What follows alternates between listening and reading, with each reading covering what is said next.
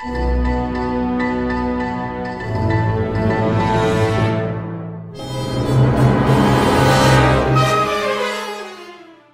morning, everybody. And welcome to another edition of the Lab 207 webcast. My name is Mr. Kite, and I'll be hanging out with you today as we continue on in our very long series about the living world. Probably going to be 20 plus videos. Should have broken it up into different subseries, but whatever, here we are. So, topic for the day is going to be the endocrine system. As always, let me get you your objectives and then we'll jump into it. So, by the end of this video, be able to do or know the following things. First up, understand the function of a hormone. Second, explain the difference between water and lipid soluble hormones, and finally, describe the function of a local regulator. So before we start talking about all that, let's start with a discussion of the endocrine system. Just basically, what is it?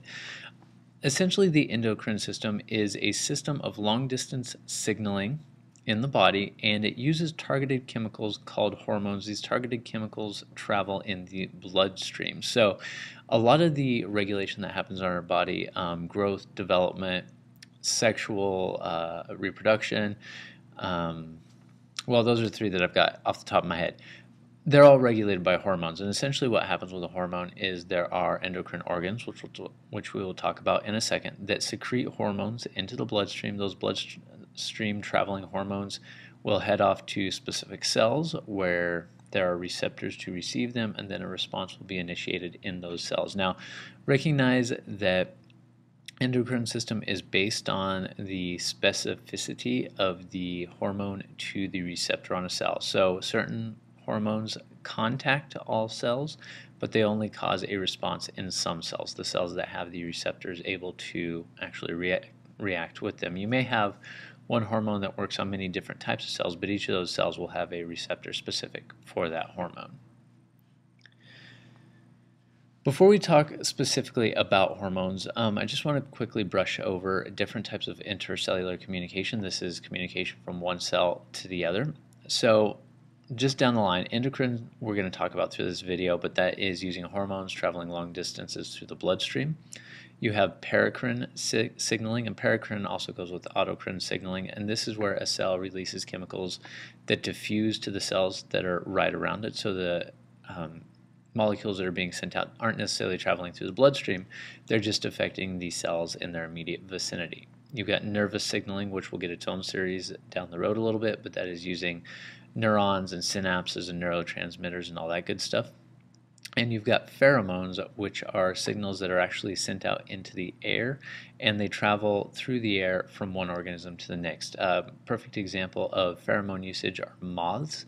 Moths are able to secrete pheromones into the air, and they can travel for miles, uh, attracting mates to come and mate with a female moth. So that would be an example of pheromone chemical signaling through the air. Now let's go ahead and talk specifically about the endocrine system itself. Um, first thing you really need to know is that the endocrine system is made up of a ton of different tissues and organs. So within some organs of the body, let's say the stomach, the stomach has got some cells within it that have an endocrine function, meaning that they secrete some hormones. In other cases, there are whole organs that are um, dedicated to endocrine function. A good example of an endocrine organ would be the uh, hypothalamus or the pituitary gland, both of those organs that are or organs that are dedicated to the secretion of hormones. Uh, you also get the adrenal glands that sit up on top of the kidneys and the testes and the ovaries. All of these are organs that are just dedicated to secreting hormones, so they are known as endocrine tissues and organs. Um, all of our hormones can be broken down into three different classes, and I'm going to go through a little bit about each one of them. So, first class of hormones is going to be a peptide hormone. It is a string of amino acids formed together into a peptide. These are going to be like proteins. Things to know about a peptide hormone. First thing is they are not lipid soluble, so they dissolve in water, but they don't dissolve in lipids. Because they don't dissolve in lipids, they are not able to cross the cell membrane. So because they can't cross the cell membrane, they rely on cell membrane receptors in order to get anything done. We'll talk about how they get done, get stuff done in a second, but Peptide hormones rely on cell signal receptors because they cannot diffuse through the membrane. Then you have got an amine hormone. These guys are made out of specific amino acids. They are usually not solid in lipids. Occasionally they are, but usually they're not. So because they usually are not, they also rely on a cell surface receptor. And then you've got steroid hormones. Steroid hormones are made out of steroids, which are generally four rings derived from cholesterol. These guys are able to diffuse through the cell membrane. So once they've diffused through the cell membrane, they rely on a receptor within the cell in order to start their, I guess, transduction pathway. So we'll talk about each of these in a second. I just wanted to get you a quick overview before we actually got to them specifically. So a little more specifically, talking about water-soluble hormones, these guys are going to be ones that are able to dissolve in water, but they don't dissolve in lipids. Amines or um, amines and peptide hormones are a good example of this. The way they get their stuff done is through signal transduction pathways, which we have talked about quite a lot. So our hormone is traveling around in body fluids. It finds its target cell and it binds to a specific receptor. That specific receptor sets off a signal transduction pathway, which, if you remember, it's a series of molecules that relay a message from one to the next. And eventually they will get to their target molecule, which is going to lead to some sort of response within the cell. Now, in contrast to this, you have got a lipid soluble hormone, those steroid hormones.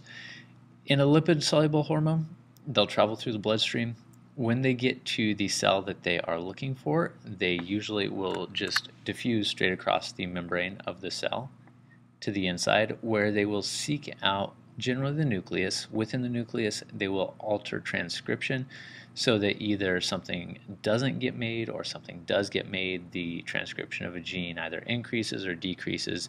Either way, they are diffusing across the membrane and generally acting on uh, transcription of something within the nucleus.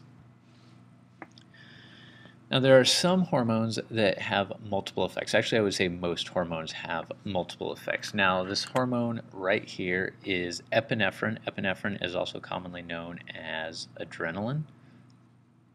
Sorry, spelling is hard. Um, so adrenaline, we know, is a stress hormone that comes about when you are in a situation that requires a fight or flight response. Now that response requires many parts of your organs to be doing different things. So adrenaline, for example, adrenaline is released by the adrenal glands, gets into the bloodstream, starts circulating, and does a couple things. First thing is it hits the liver. In the liver, it causes glycogen, which is a starch to be broken down, releasing glucose into the bloodstream so that you have got a quick burst of energy and sugar to deal with a stressful situation. Um, it also causes constriction and dilation of various blood vessels. So, blood vessels that are routed to skeletal muscles are going to open up so more blood and more oxygen get to those muscles. And at the same time, Smooth muscles around the digestive tract are going to constrict those blood vessels so that blood isn't being wasted on digestion. It can be routed out to the places where it is more readily needed. So in the case of adrenaline, this hormone goes out and there are several types of cells that have receptors for it, and each one of those cells, when adrenaline binds to it, is going to show a different type of response. But all those responses are coordinated together into the fight or flight response that we know can be attributed to adrenaline. And this is our final slide for the day. There are signal molecules called local regulators. They're not hormones, but they work in much the same way, so we kind of wanted to just mention them real quick. Essentially what a local regulator is, is it's a signal molecule that is released by a cell, and it acts on the cells that are around it. Now, the cells respond in much the same way they would respond to a hormone in that the local regulator is a specifically shaped molecule that only binds to a certain type of receptor and then it sets off a signal transduction response just like an endocrine signaler or hormone would. Um, local regulators are generally broken into two different categories. You've got paracrine and autocrine. In a paracrine regulator, generally the signal molecule is acting on the cells that are in the immediate vicinity, so the neighbors around the cell. An autocrine uh, regulator is a molecule that actually acts on the cell itself. If you look at the very bottom diagram down there, that's an example of an autocrine signal where the cell is releasing signal molecules that are actually binding to its own receptors. Um, off top of my head, I can't think of a reason that autocrine signaling would be used, but the body uses it, so I'm sure that there is a good reason for it. So That's it. Quick overview of endocrine signaling in the body. Hopefully that was helpful for you. Thank you for joining us on the Lab 207 webcast. My name is Mr. Kite, and we'll see you again.